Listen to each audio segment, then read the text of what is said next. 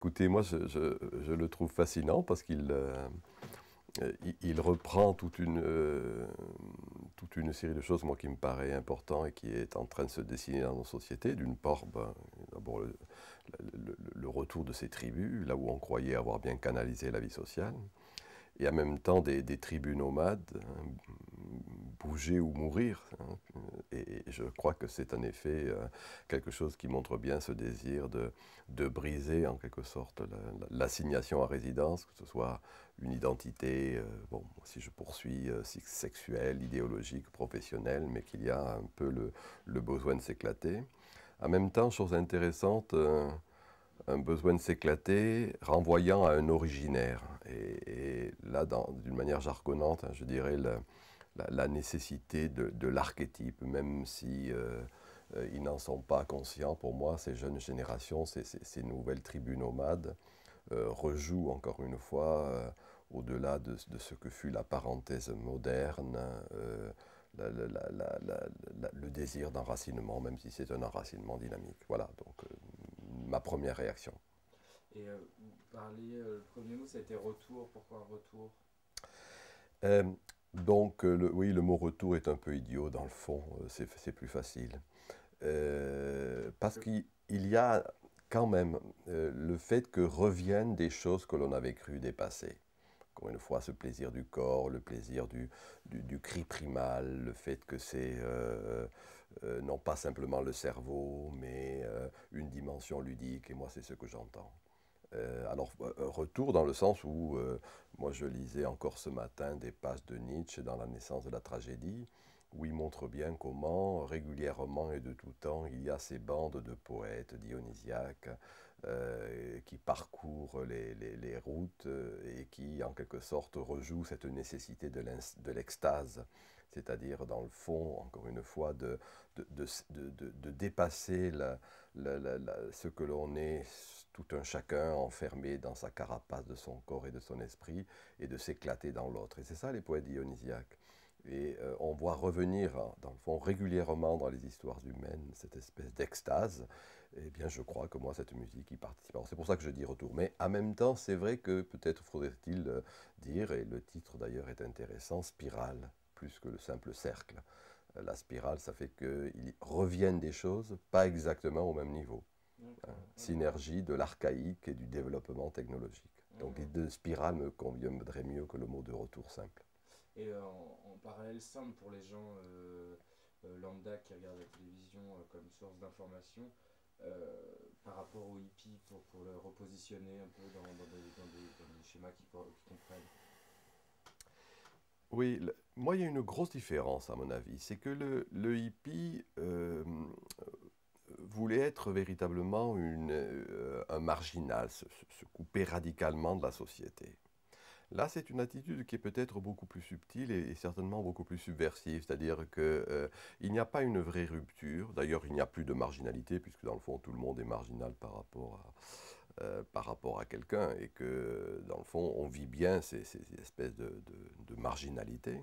Mais la grosse différence, c'est que dans le fond, si je le dis en des termes simples, pour moi, c'est aussi bien euh, mes étudiants, mes enfants, les employés qui euh, vont être des bons euh, enfants, des bons étudiants, des bons employés, et puis qui régulièrement et de temps en temps, encore une fois, vont rentrer dans cet éclatement de soi. Alors voilà la grosse différence. Dans, le, dans le, cas du hippie, c'était quelque chose qui, dans le fond, était sur la longue durée. En fait, ça n'a pas été sur la longue durée, ils se sont vite intégrés par après. Tandis que là, il y a un vrai, une vraie rébellion qui fait qu'il n'y a pas adhésion aux grandes valeurs sociales, et en même temps, on va profiter de cette société, donner tout ce qu'elle peut donner. Je trouve que c'est une attitude plus subtile, plus, bah, parce qu'il y a, plus rude. Il y a le référent hippie pour eux qui... Oui, est-ce qu'il est qu'il fait vraiment encore référence, ce monde hippie? Moi, j'en suis pas tout à fait certain. Euh, je pense qu'il est, ce référent est considéré comme étant un truc d'ailleurs de grands-parents, quasiment. C'est même plus des parents, c'est des grands-parents en quelque sorte. Non, moi je crois qu'il y a plutôt une, une, une, réaffirmation de cette vieille idée de la rébellion, de la révolte qui revient régulièrement, mais qui en même temps est une idée astucieuse, c'est-à-dire il faut profiter de ce qui est donné sans se laisser avoir, dans le fond, par cette société. Hein, euh, Voilà un peu moi ce qui ferait la grosse différence. Et une fois que la, gangrène de avoir, on est en train de se faire avoir, prend, effet, il y a, le, nomadisme, c'est l'ordre de la fuite. Pourquoi dire la fuite? Euh, C'est encore péjoratif. Disons qu'il y a quelque chose qui est cette soif de l'ailleurs. Euh, euh, ne, pas rester enfermé. Moi, je crois qu'il y, a vraiment cette... C'est ça que j'appelle le nomadisme, d'ailleurs. Hein. C'est-à-dire le fait que là où il y avait un enfermement dans un sexe, eh bien, il va y avoir un sexe vagabond. Euh, il va y avoir d'ailleurs multiplicité de bi, ambigu sexualité, toute chose qui fait qu'on ne va plus se reconnaître homme, femme, mais quelque chose un peu des deux, ou un va-et-vient toujours entre les deux. Ça, je trouve que c'est euh, quelque chose qui, est important. De la même manière, il n'y a pas un enfermement professionnel, mais euh, des formes d'errance professionnelle. Il n'y a pas un enfermement idéologique. Vous allez trouver des, Il n'y a plus d'adhésion à des partis, adhésion à des syndicats, adhésion à des systèmes idéologiques. C'est ça l'errance. Et moi, je trouve que c'est une forme de santé, en quelque sorte, que de toujours être ailleurs que là où on voudrait que vous soyez. Voilà. Et euh, même s'ils n'en sont pas conscients, moi, je trouve que les pratiques juvéniles, et pour moi, ces tribus postmodernes qui sont en quelque sorte les, les, chevaliers de, la contemporanéité, la quête du Graal, dans le fond, qui, est rejouée actuellement, euh, manifeste une grande santé, une, grande vitalité. Et euh, c'est quoi le Graal? Le Graal, c'est bon, c'est une espèce de mythe comme ça. Hein. on ne sait pas ce que c'est. La, recherche, la quête du Graal, c'est la recherche dans le fond du nom de jouvence ou la recherche de, du de la coupe du ciboire qui contient cette, le sang du Christ. En la matière, c'était ça. Bon. Mais euh, peu importe, il suffit de voir, ce que, enfin, je dirais, ça peut s'exprimer de diverses manières. Moi, je dirais que c'est toujours une, une recherche de, de plénitude, d'intensité, euh, de désir qui ne se laisse pas brider et brimer. Et dans le fond, c'était ça, les chevaliers du Moyen Âge qui partaient à la quête du Graal, qui abandonnaient euh, la famille, le foyer, le lieu et le cocon dans lequel ils, allaient pour véritablement partir, encore une fois, à l'aventure, eh bien, c'est cette, cette, cette, vie un peu aventureuse qui me paraît, être qui paraît revenir actuellement. Et finalement, c'est se trouver soi, non? Pas, pas Alors, en effet, je pense que c'est quelque chose de cet ordre, c'est-à-dire euh, euh, participer à, un soi plus vaste, un ensemble plus vaste, et par là se retrouver soi-même dans le cadre de, cette, de ce soi plus vaste, si on emploie ces termes-là. Finalement, dans le monde de la conformité, ils étaient euh, des conformes anticonformes ou des anticonformes conformes. Oui. Oui, moi, je, bon, je sais pas, moi j'ai plus trop envie de... Il y a, y a, des formes de... Il y a un conformisme, et en même temps, peut-être que j'exagère, peut-être qu'on me dit souvent que je suis trop optimiste, mais moi je sens plutôt euh, le fait de ne pas être dupe de même jusque y compris de la consommation et profiter des objets, non pas les consommer mais les consumer. Euh, profiter de, du sexe, pas simplement en termes de consommation, mais de consommation. Brûler sa vie par tous les bouts. Hein. c'est ça un peu qui est l'errance, euh, encore une fois, qui me paraît être, et l'errance sexuelle, euh, et l'errance vitale, existentielle ces, modes de vie-là, ils sont absolument pas du tout représentés dans les médias, ils, sont, ils existent nulle part. Je pense que ces images, c'est une sorte de première fois que vous voyez ces images-là. Euh, vous pouvez expliquer ce phénomène? Euh, Qu'on ne les voit pas dans les... Ouais, dans les médias, qui soient pas représentés. Ah, parce que si, eh ben, c'est parce que s'il y a conformisme, c'est le conformisme de l'intelligentsia. Hein, c'est-à-dire cette génération, la mienne, qui a, qui a été, cette, génération de 68 ans est devenue notaire à la place des notaires, fondamentalement. Et dans le fond, bon, comme moi, prof de fac, euh, ministre euh, et autres directeurs de journaux, hein, bon. Et, et, donc, dans le fond, on très peur de ce qui remet en question les, les, les, valeurs établies de gauche et de droite de ce point de vue. Hein, bon. Alors, euh, bon, ben, c'est évident que c'est ma génération qui a le pouvoir de dire et le pouvoir de faire, et qui a le pouvoir de canoniser, hein, de dire ça c'est bien, ça c'est pas bien. Et donc, moi, ça ne m'étonne pas que dans le fond, il ils, aient peur, à vrai dire, de cette espèce de, d'insurrection qui, qui, qui, est bien manifeste dans ces images. Hein, je dirais que euh, même près, il n'y a même pas la peine de parole quasiment, en tant que telles, sont parlant. Donc c'est pas étonnant qu'on ne les représente pas. Parce qu'ils représentent un vrai danger? Euh, ben, ils sont ressentis, oui, comme, et, à juste titre, moi je crois qu'ils représentent un vrai danger, un danger contre justement ce qui aurait tendance à, à, établir l'ordre du monde et la société.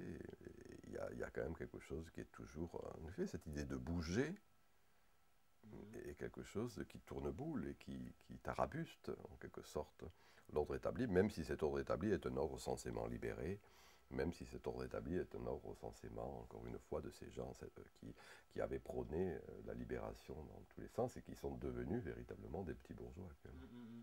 Parce que cette idée de nomadisme, elle est, absolument omniprésente hein, dans la publicité, c'est un mode de vie qui est, qui est survendu. Oui, mais la publicité est plus intéressante que les médias, excusez-moi de vous dire ça. Moi, je crois que la publicité, actuellement, je trouve que c'est, euh, bien sûr, en général, c'est fait pour vendre des produits, mais à la limite, je ne crois pas que ce soit l'essentiel, à vrai dire. Euh, les publicitaires ont le nez creux et ils sentent bien ce qui est dans l'air du temps. Et en effet, bah, ce qui est dans l'air du temps, en effet, c'est sortir de soi, c'est s'éclater. Euh, l'air du temps, c'est de coller à l'autre, la tribu. Moi, je crois que ces deux mots sont des mots euh, paradigmatique, euh, vraiment significatif euh, de notre temps, eh bien, le, propre du publicitaire, dans le fond, il ne fait que cristalliser cela, le rassembler. Donc, pour moi, ce n'est pas étonnant que la publicité en parle. Et qu'est-ce que ça, qu'est-ce que maintenant que ces images ont un mode de diffusion qui est le DVD, ah qu'est-ce que quel peut avoir l'impact? Est-ce qu'il y a encore un danger ou est-ce que c'est parce que c'est figé, c'est ça, j'en sais rien. Moi, je ne suis pas un prophète, je ne suis pas un homme politique. Moi, ce que je pense, c'est que, là, c'est un autre débat, il faudrait en parler longuement, mais euh, il est certain que l'Internet, par exemple, euh, favorise tout de même justement des diffusions par contamination, véritablement, presque en termes d'épidémiologie, et qui échappe à tous les supports, les grands supports médiatiques habituels, qu'ils soient de presse ou qu'ils soient télévisuels, bon, etc.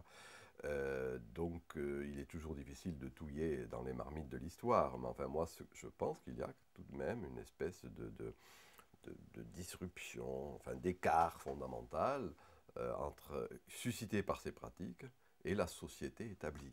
Hein, et, un écart entre ceux qui vivent ces valeurs alternatives et les propriétaires de la société.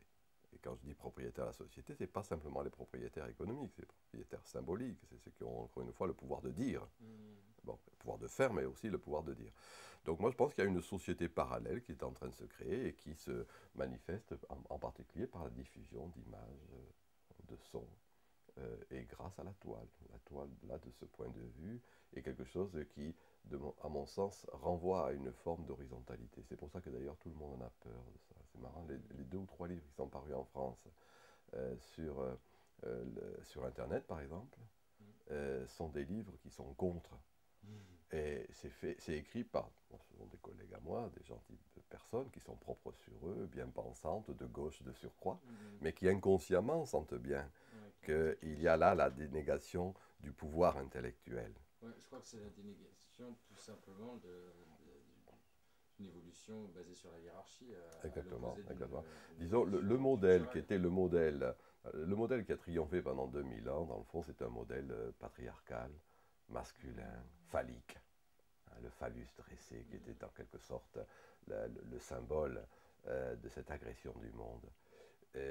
moi, je pense qu'il y a actuellement un, processus, euh, grâce justement, curieusement d'ailleurs, une ruse de la technique, grâce à ce développement technologique, quelque chose qui renvoie à une forme d'horizontalité. La culture.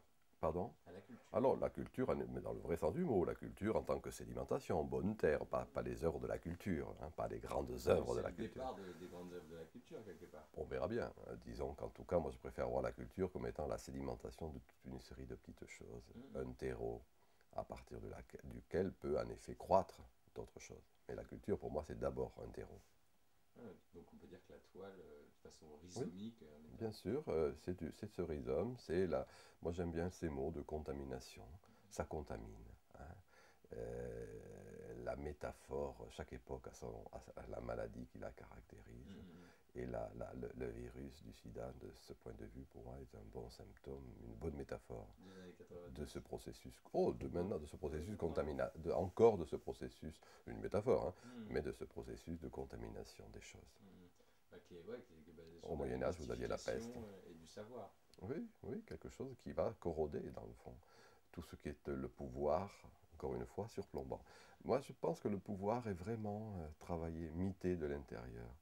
Euh, ça n'apparaît pas parce que, encore une fois, c'est un peu naïf, ce que je, ça peut paraître naïf ce que je dis, c'est-à-dire que le pouvoir économique semble rester bien en place, le pouvoir politique et les pouvoirs symboliques semblent rester bien en place.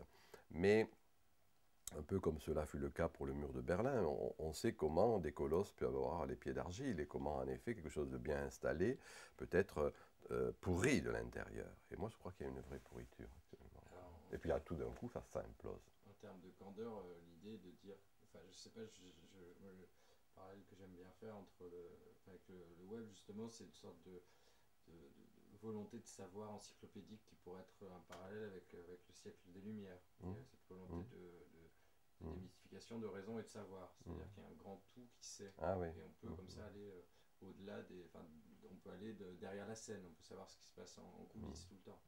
Toujours savoir. Oui, sinon que je suis assez d'accord avec cette idée de savoir. En même temps, j'en ai un peu peur, parce que le savoir a toujours été une occasion de pouvoir. Il mhm. ne faut pas l'oublier. Sauf quand, il, quand, il, est contrôlé. Euh, sauf quand, oui, voilà, mais, ah, ou alors, mais il faut, c'est un vrai, oui, euh, il faudrait en discuter longuement. Disons que euh, moi, je préfère le mot connaissance au mot savoir, pour tout dire. Mais ça, c'est des petites subtilités. Hein. Disons que le savoir, pour moi, est trop rationnel, voilà, pour tout dire. Hein. Alors que la connaissance, si je me permets d'être un peu pédant, cum nascere, et en latin, connaissance, ça veut dire naître avec le monde. Et donc il y a la connaissance, quelque chose qui met en jeu le corps, qui met en jeu les affects, qui met en jeu les passions. Donc il y a une notion d'infini qui est plus... Oui, et puis il y a de, non, mais même le, corps, mm-hmm. le désir. Dans le savoir, il y a un côté un peu trop pur, un peu trop cognitif, mm-hmm. c'est pour ça que je dis un peu trop rationnel. La, connaissance, euh, c'est un peu l'idée de la libido, si on dit il y a de la libido. Hein, je, veux, il y, a un désir de, de, connaître, de connaître, bon, peu, peu, importe le mot d'ailleurs, mais enfin, disons qu'il y a un désir, le désir, il y a sa place, voilà, grosso modo. connaître, il y a un rapport avec naître ou ça n'a rien à voir? Non, connaître, ça veut dire naître avec. C'est ça. Oui, oui, naître, naître, oui, bien sûr, connaître, euh, cum nascere en latin, hein, naître avec, ça veut dire. Hein. Et donc, ça veut dire qu'il y a ce côté de réversibilité, euh, euh, il y a des, des processus presque de copulation avec les choses, voyez, ou quand euh, il y a des formes de connaissance mutuelle, euh, c'est une manière de faire l'amour ensemble. Hein. Il y a de la copulation, et avec les choses, et avec les gens, et avec le monde. Je crois qu'il y a quelque chose d'érotique dans la connaissance, mmh, mmh, mmh. alors que le savoir a un petit côté un peu trop abstrait pour moi. on y met tout de suite. Voilà. Revenons à nos moutons, nos moutons nomades.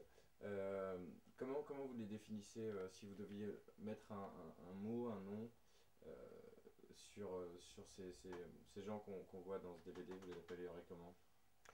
Ah, Certainement pas les moutons d'abord. Je trouve qu'il y a un côté animal. Un côté animal, et c'est la prise en compte de cette animalité qui me paraît intéressant. Je, je, je, je les trouve très humains. Vous voyez, je sais bien qu'on fait actuellement on, se, on, galvaude peut-être un peu le mot, mais il y a une forme d'humanisme, mais pour moi dans le vrai sens du mot, c'est-à-dire l'humanisme, c'est ce qui prend en compte l'humus dans l'humain, la boue. Alors voilà, c'est ce côté animal, un côté de boue euh, qui, me vient directement à l'esprit. On est pétri de cette boue et, c'est ce qui apparaît à mon sens. C'est-à-dire, vous voyez ce que je veux dire? C'est-à-dire ne pas dépasser le mal, mais l'exprimer, le crier, le chanter. Euh, c'est les tripes. Hmm, On pourrait jouer sur les mots tribal, tripal. C'est cathartique. Oui, c'est de la catharsis en effet, mais il est important que ça sorte. Et je trouve que dès le moment où ça sort, en même temps, c'est quelque chose qui est très intéressant. Alors voilà, ça c'est ma première idée. Hein. Il faut que ça sorte, et cette idée, encore une fois, d'animalité.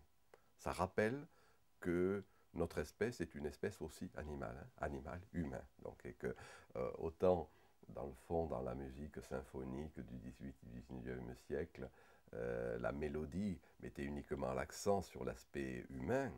euh, sur les, bons sentiments, sur ce qui suscitait dans le fond euh, que, la, que la, réflexion, autant il me semble qu'il y a là image et musique qui, je disais, renvoie à cette, cet un primordial, dans le fond, qui est aussi le ventre. Hein, moi, je, suis attentif à la... Alors voilà, ce premier élément. Le deuxième, c'est quelque chose qui fait communion, qui a une forme charistique. Je mhm. joue ainsi, hein, c'est-à-dire euh, rappelle que dans le fond, dans l'hystérie, c'est le ventre commun qui est en jeu. Hystérus, c'est ça, le ventre, le ventre qui est mu. Voilà. Et l'électronique, la place de l'électronique, son impact, son importance non, on n'a pas parlé. Bon, c'est ce que je disais il y a un instant, dans le fond. Euh, vous voyez, moi, ma définition de la postmodernité, il faut m'en excuser, chacun défend ses idées. Moi, la mienne, c'est la postmodernité, c'est ce que j'appelle la synergie de l'archaïque et du développement technologique. synergie, c'est démultiplication des effets, c'est ce que ça veut dire le mot. Et là, en la matière, l'archaïque, c'est ce que je viens de dire, hein, le ventre, c'est le désir de coller à l'autre. Et que cette, ce désir de coller à l'autre, gardons cette idée-là de copuler. Moi, je crois qu'il y a de la vraie copulation dans l'air.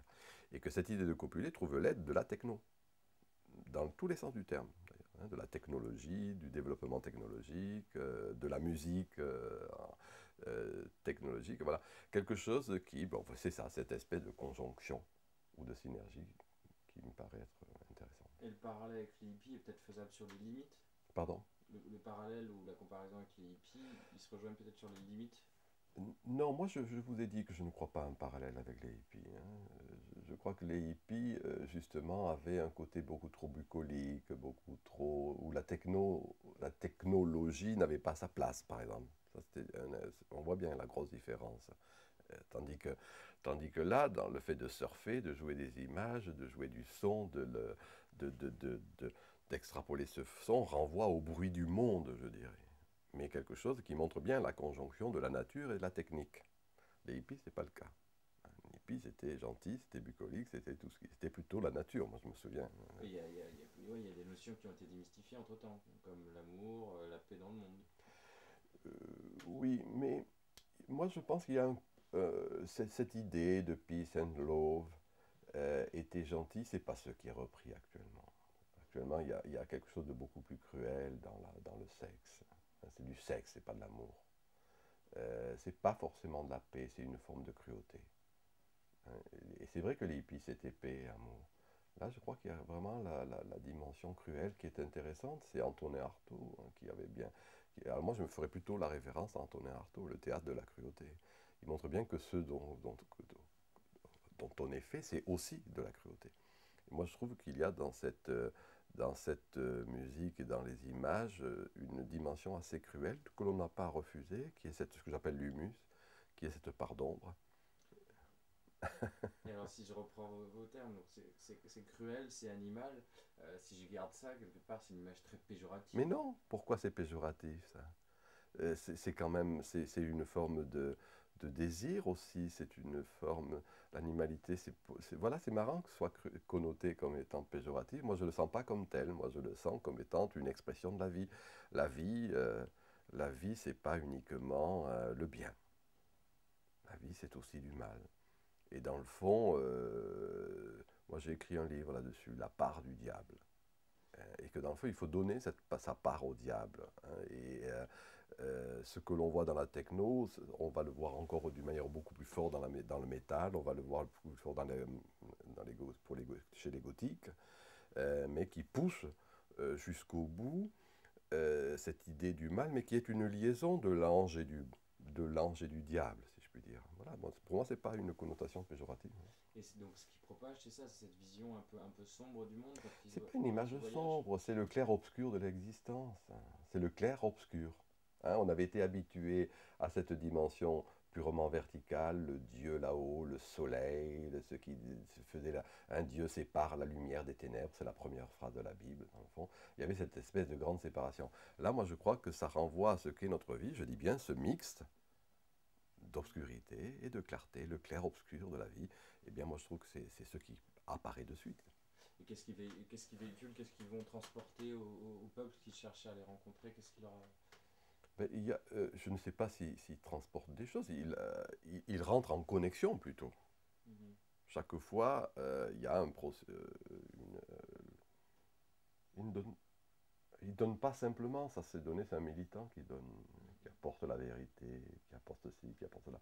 Moi je trouve que c'est amusant de voir comment il transporte des, des produits de nécessité, ceci, dont des préservatifs, par exemple,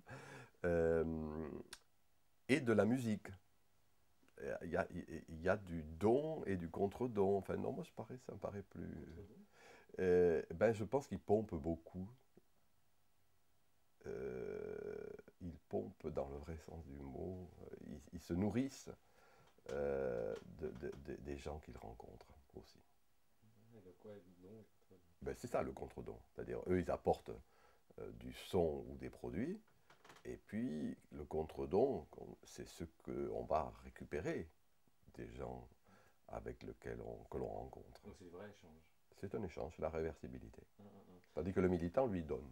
Il donne un savoir, il donne le sang du monde, il donne comment il faut faire la révolution, ou des trucs dans ce genre, dont ça, on n'en a plus besoin. Personne n'en veut plus. Personne n'en veut plus. Mettre à penser.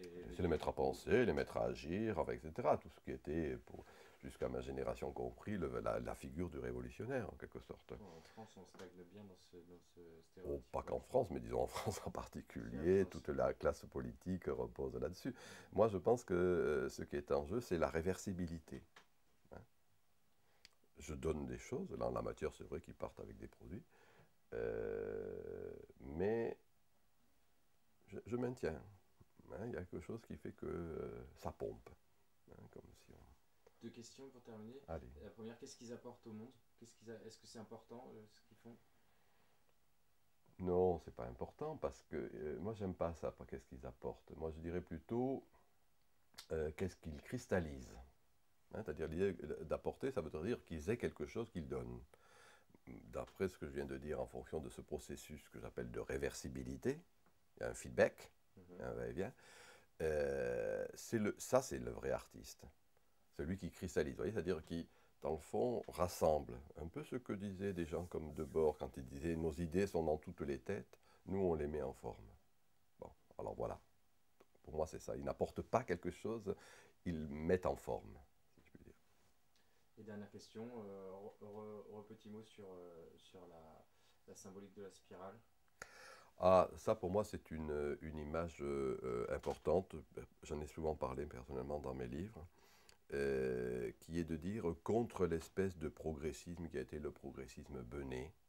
Hein, on part d'un point A de barbarie, on va arriver à un point B de civilisation absolue, hein, le linéarisme historique. On voit revenir des choses archaïques Arché, ça veut dire fondamental. Vous l'avez cru dépasser. Et, mais pas exactement au même niveau, c'est vrai. Et donc l'image de la spirale, ça, ça me paraît être la bonne image, c'est-à-dire qui traduit le fait que reviennent un certain nombre de choses, pas au même niveau, pas exactement de la même manière, et qu'il y a là cette conjonction de cet archaïque, encore une fois, et du techno, ou du technique, sous sa diverse modulation. La tribu en est un bon exemple. C'est la tribu pas typique, pas ce qu'étaient les tribus anciennes, primitives, mais en même alors c'est la tribu dans le sens où il y a le partage des affects, il y a le sentiment d'appartenance, il y a quelque chose de chaud, hein, d'être collé à l'autre, dans le fond, mais que ça trouve l'aide du développement technologique. Je le dis pour la tribu, on peut le dire pour les nomades, on pourrait le dire pour d'autres. C'est ça pour moi la spirale. D'accord, et la tribu, il y a, y a, toujours une. encore une fois, si c'est vraiment la question, si c'est sur les limites des, des mouvements euh, tribaux, il y, a toujours une limite, il y a toujours un moment où, enfin c'est comme le phénomène de bande, c'est quelque chose qui pourrait être plus de l'ordre de l'adolescence, où il y a toujours un moment où ça... Je crois pas. Ça, je ne le pense pas. Je, je, sais que c'est l'argument euh, qu'on donne euh, et je le trouve trop facile. C'est-à-dire en disant c'est un moment. Mm, mm, mm. Après, ça va passer. Hein, les bandes de jeunes, d'adolescents, etc. Regardez, là encore, euh, encore une fois, long développement, mais c'est en train de. Ça, ça, continue, ça se développe et que ce n'est pas une tranche d'âge.